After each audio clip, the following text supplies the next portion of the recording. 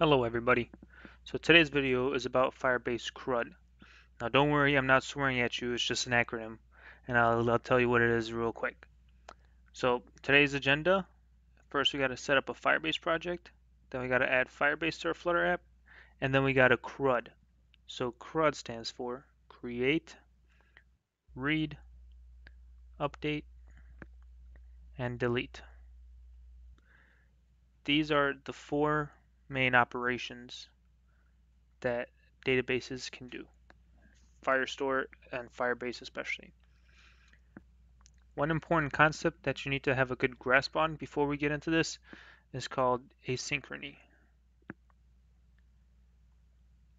It's a it's a complicated topic and I'll make sure to have a link in the description. So check that out if you're not sure about what asynchrony and asynchronous programming is. Okay, so let's get started. So first thing we're going to need to do is set up our Firebase project. So let's set up a project called Flutter Firebase.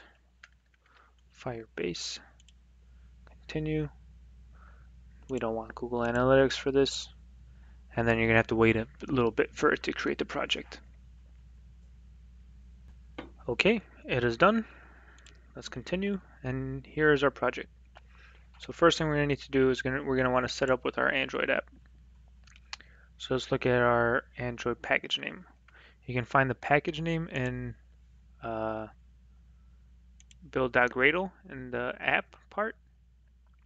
Your package name should be this right here, application ID.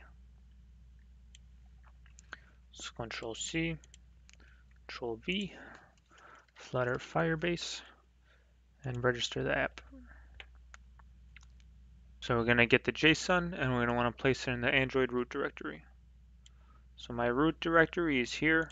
We go to Android. I want to place this JSON file in here. And I think, I don't know if you need to do this, but I think you should rename it to Google Services.json.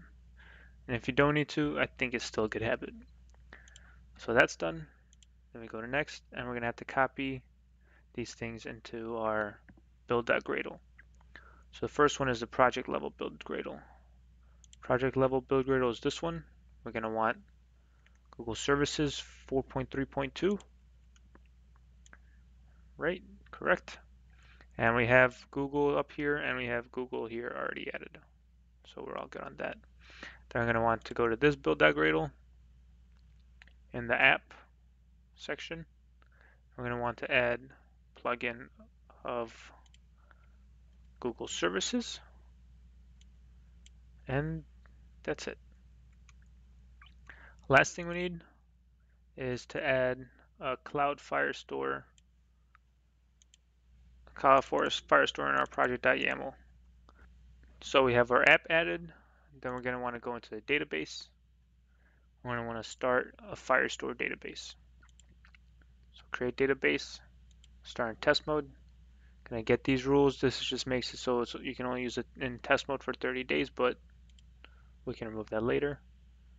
Then you create your location. That's where I am. And it will create a Firestore database for you. Okay, so our database is made, and I think we're all ready to go into the code. Okay, so you guys saw that error had to do with multi-dex or shrinker in order to fix if you get that error in order to fix it you want to just make your minimum SDK version 21 something happened with something called multi-dex on SDK version 21 so just if you update that it should work again. I'll have a link in the description to explain multi-dex more if you're interested. Okay so here we have the app. First thing we need is final firestore and that should already add it here firestore equals firestore dot instance. I think firestore needs to be capitalized. Firestore dot instance.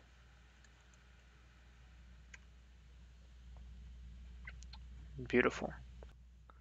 So once we have our instance of our Firestore database, we're going to want to move on to doing the actual functions.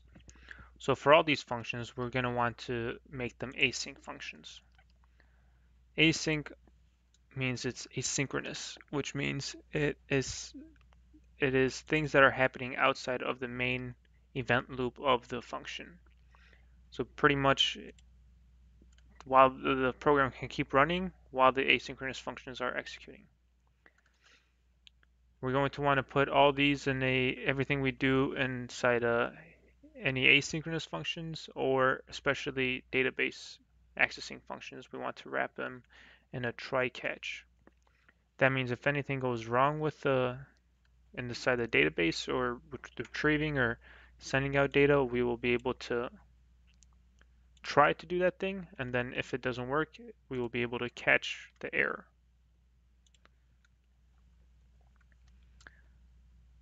So for this one, we will have an await. So the while the asynchronous function is going on in the background and the, everything is still waiting, we still want to know when we retrieve the values. That await will, will mean that we have got the value from the database, we have awaited it, and then after the await, we could execute actions according to what we want to do with the information. So await, we will want to do firestore, and then um, collection. We will want to create a collection with a name. Let's say users and we'll want to make create a document and we'll call it uh, test user.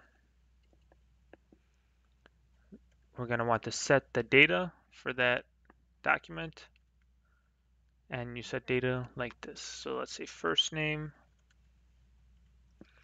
is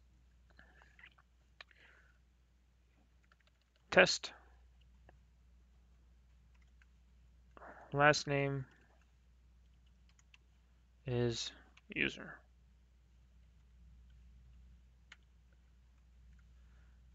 And that, that's pretty much it, I think. Let's try it out, see if it works. So we'll click create button. I think I clicked it. And if we refresh this, we will hopefully see our new user in here.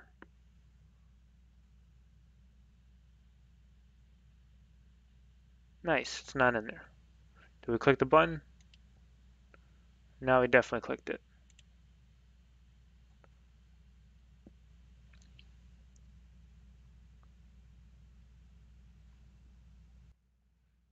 So the most important thing when you're writing an app is to make sure you follow directions. I just spent like 30 minutes trying to figure out what the problem was and it's because my Google services.json was in in this Android folder, not in the app folder. You want to make sure it's in the app folder and then everything will work. So now let's get back to it. If we click create, we should see uh, something pop up here. Hopefully.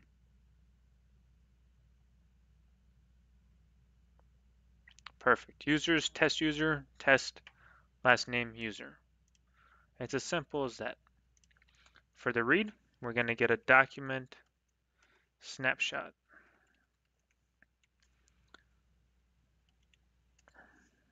So we're going to want to do document snapshot equals await firestore dot collection from the users collection. And what document do we want? document named test user and we want to get that document. We'll just do a print of the document snapshot dot data.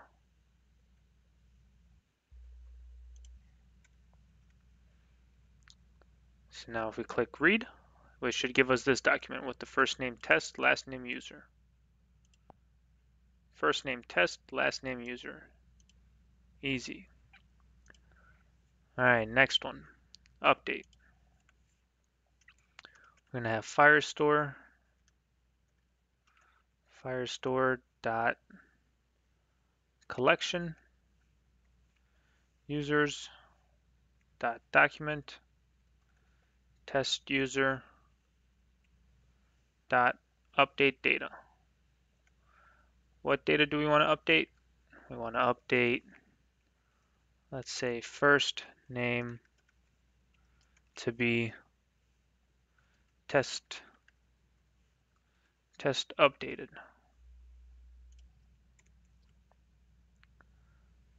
And now if we run that,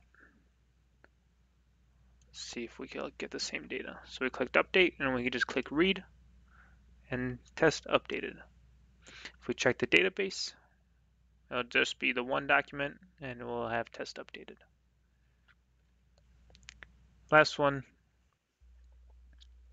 we have firestore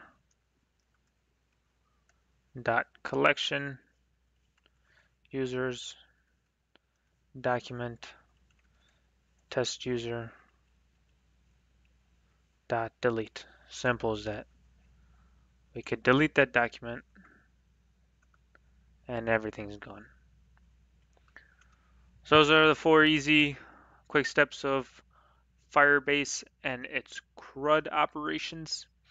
You can obviously make this a lot more complicated. This is just the very basics. When you start it up, you'd probably have an authentication and you'll have a user ID. So for the document, let's say in the users, you'd have a document name of the user's ID followed by all the information. And then you could retrieve the user's ID and update documents and delete documents just however you want. So that's pretty much it for the four CRUD operations with databases. This code will be in the description below. If you have any questions, make sure to leave it in the comments and make sure to like and subscribe. And thank you for watching.